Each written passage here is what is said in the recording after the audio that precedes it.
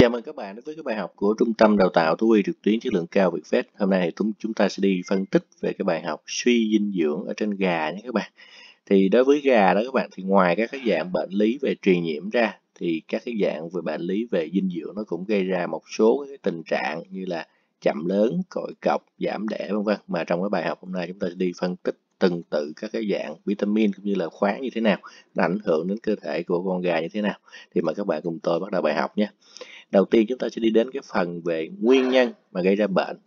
Thì bao gồm rất là nhiều nguyên nhân các bạn. Nhưng mà tôi tóm gọn lại một số các dạng nguyên nhân. Ví dụ như là do cái khẩu phần ăn không cung cấp đầy đủ cái chất dinh dưỡng. Cái lý do có thể là do các bạn chỉ là người chăn nuôi á, người ta lập cái khẩu phần ăn bị mất cái phẩm chất các bạn. Ví dụ như là các cái vitamin mà người ta bổ sung vào cái khẩu phần á tuy cái số lượng nó đủ nhưng mà nó lại mất tác dụng do một số các cái yếu tố như là lý nè, hóa hay là nhiệt độ nó sẽ làm biến đổi cái chất lượng gây ra hư hỏng các cái thành phần. Nên các bạn chú ý nhé. Hoặc là một cái nhóm nguyên nhân nữa là do cái khẩu phần ăn mà nó không có cân bằng theo cái tiêu chuẩn quy định và nó sẽ làm giảm đi cái khả năng hấp thu các cái chất dinh dưỡng và nó gây ra tình trạng là thiếu hụt dinh dưỡng ở trên con vật. Thì cái khẩu phần ăn các bạn thường là nó phải phân bố theo đúng cái cân bằng của các cái dạng vitamin cũng như là khoáng chất nếu như các bạn muốn bổ sung vào. Như vậy cái này cái vấn đề này thì chúng ta phải học với các bạn hoặc là chúng ta có thể tìm những cái người mà có kinh nghiệm người ta sẽ hướng dẫn cho các bạn là à, cái bổ sung theo cái quy chuẩn như thế nào hoặc là nó bổ sung theo cái từng cái thành phần cái số lượng cụ thể là bao nhiêu ví dụ vitamin A bao nhiêu vitamin C bao nhiêu D bao nhiêu để cho nó cân đối được các cái dạng vitamin đó và nó sẽ không có gây ra cái tình trạng thiếu hụt này hoặc là một cái tình trạng nữa, nguyên nhân các bạn là do cái pha trộn không có đều. Nhất là các cái nguyên tố khoáng vi lượng và vitamin đó các bạn, nó làm cho cái việc hấp thu nó không cân đối. Tức là cái lúc mà các bạn trộn đó các bạn, thì thường chúng ta nếu như người chăn nuôi trộn tay thì ta trộn không có đều các bạn dẫn đến là một phần thì nó quá dư và một phần thì nó quá ít các dạng vitamin và khoáng. Cho nên là khi mà chúng ta rải ra cho con vật ăn á, thì có thể là nó sẽ ăn vào những cái phần mà nó quá dư hoặc là quá thiếu thì nó sẽ gây ra cái tình trạng là suy dinh dưỡng này nha các bạn. Và là một cái nguyên nhân nữa đó là khi mà chúng ta pha trộn trong thức ăn á, nó có chứa những cái chất đối kháng. Và những cái chất đối kháng này á, nó sẽ làm mất đi cái tác dụng của các cái dạng vitamin đó tôi ví dụ như là khi các bạn pha cái amron với cái vitamin B1 nó sẽ gây ra đối kháng hoặc là khi các bạn pha cái avidin, các bạn kết hợp với cái biotin thì nó sẽ đối kháng hoặc là cái, các cái dạng về linset mà kết hợp với vitamin B6 các bạn, thì nó sẽ gây ra dạng đối kháng nên các bạn chú ý nhé, cái lúc mà chúng ta sử dụng chúng ta phải xem cái tác dụng của từng cái dạng cũng như là cái tương tác qua lại với các cái dạng vitamin và các dạng thuốc mà các bạn trộn lại nhé các bạn. Không thôi thì các bạn sẽ trộn trúng phải những cái dạng mà nó gây đối kháng thì như vậy nó sẽ không có giúp ích gì được cho con vật, mà nó còn ảnh hưởng đến cái tình trạng suy dinh dưỡng của con vật. Cho nên đây là một cái điều mà tôi muốn nhấn mạnh để cho các bạn chú ý.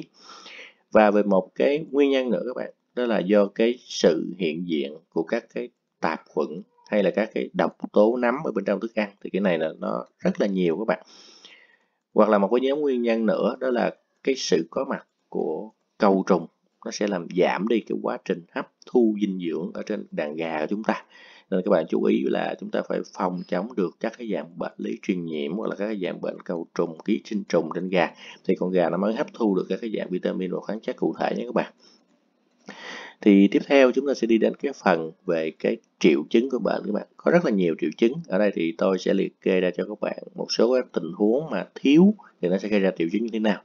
các bạn cùng nhìn lên cái bảng phân tích nhé các bạn. Ví dụ như là chúng ta thiếu vitamin A đi, thì trên con gà nó sẽ chậm lớn, ít mọc lông,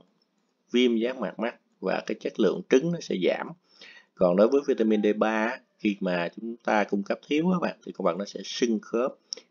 và nó sẽ giảm sản lượng trứng vỏ trứng xấu. Tương tự vitamin E này các bạn, thì nó sẽ làm cho cái não của con vật nó sẽ mềm xốp và dĩ nhiên, não niềm xốp thì nó sẽ dẫn đến cái tình trạng về cái bệnh lý thần kinh, tức là nó không có đứng vững, nằm nghiêng. Và đối với vitamin K các bạn, nếu như mà thiếu thì nó sẽ gây ra tình trạng là chảy máu dưới da. Thì thường là chúng ta sẽ thấy dưới da đầu hoặc là da cánh và máu nó sẽ khó đông nha các bạn. Còn đối với vitamin B1 các bạn, thì nó sẽ làm cái đầu của con gà nó sẽ bị rụt vào và cái vitamin B2 á, thì nó sẽ làm cho vẹo chân và ngón chân chậm lớn đồng thời giảm sản lượng trứng. Rồi cái biotin đó các bạn thì nó sẽ làm chậm lớn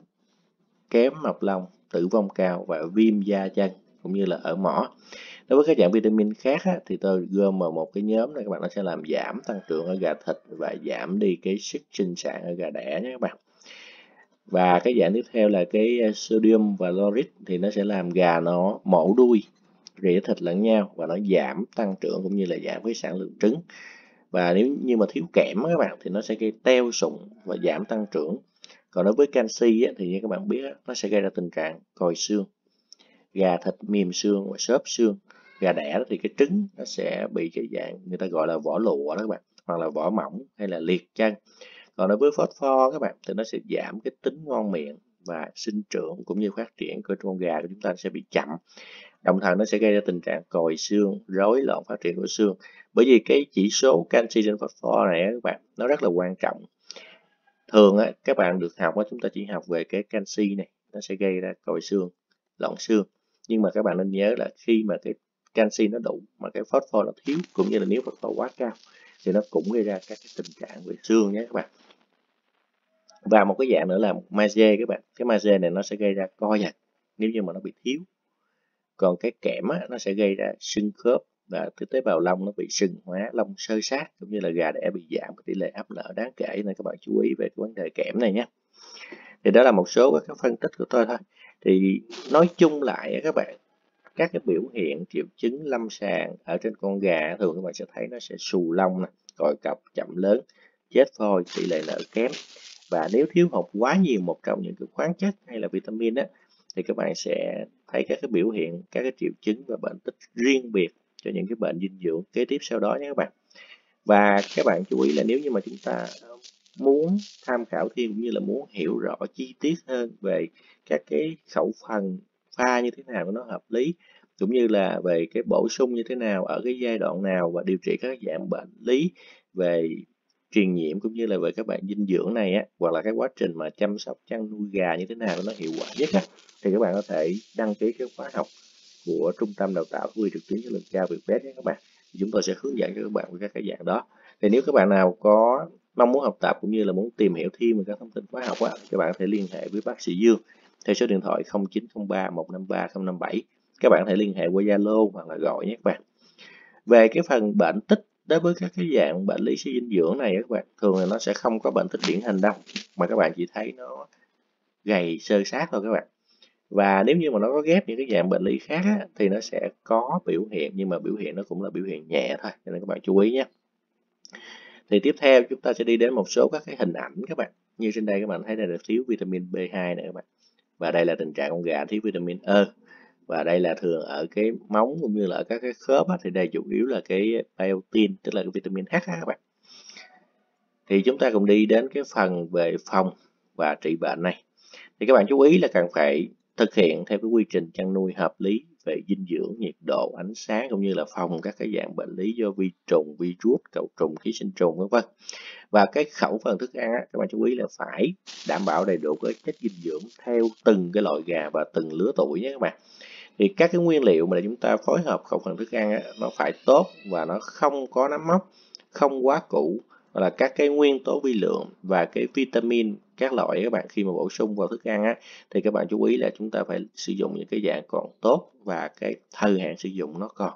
Và chúng ta không có được trộn chung và pha chung với các cái chất mà làm mất đi cái tác dụng của thuốc.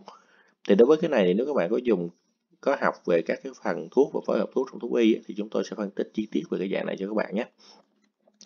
thì tiếp theo tôi sẽ phân tích cho các bạn một số các cái lưu ý tức là những cái đặc tính của vitamin khi chúng ta trộn và pha chế vào thức ăn. Đối với vitamin A đó các bạn và vitamin D á, thì nó sẽ bị phá hủy bởi các cái tác nhân oxy hóa ví dụ như là kim loại sắt này, đồng này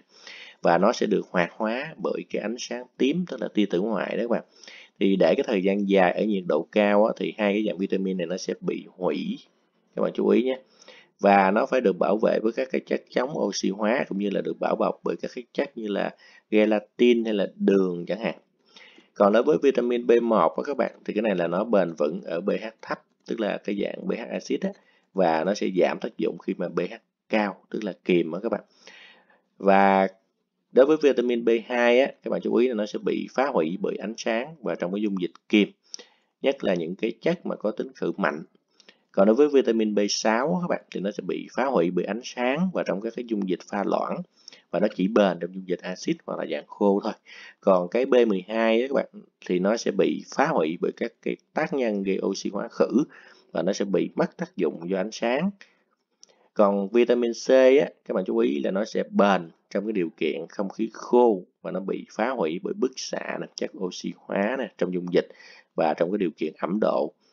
đồng thời nó sẽ bị phân ly bởi các cái ion kim loại như là sắt hoặc là đồng chẳng hạn.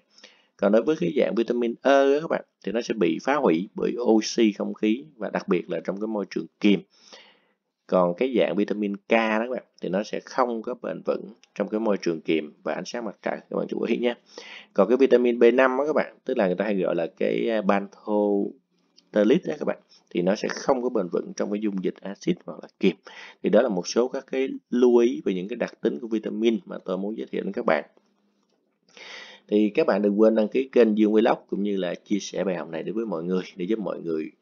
được gia tăng thêm kiến thức. Và các bạn hãy bình luận bên dưới để giúp cho Dương Vlog ngày càng hoàn thiện hơn. Hiện tại thì trung tâm đào tạo thú y trực tuyến chất lượng cao Vietvet đang có các khóa đào tạo về siêu âm, X-quang, xương khớp, thuốc và phối hợp thuốc, chuyên khoa mắt, chuyên khoa da liễu, xét nghiệm, chẩn đoán và điều trị các dạng bệnh lý trên chó mèo, heo, gà, vịt, trâu, bò, dê, cừu vân vân. Các bạn nào có mong muốn học tập cũng như là tìm hiểu thêm về các thông tin khóa học